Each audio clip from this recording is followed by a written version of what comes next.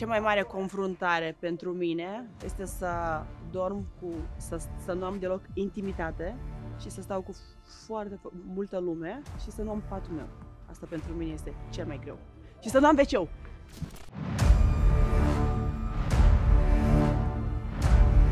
N-am frici.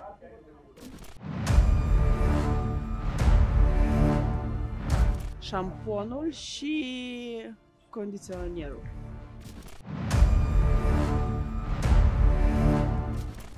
Mă motivează să mă cunosc pe mine cel mai bine.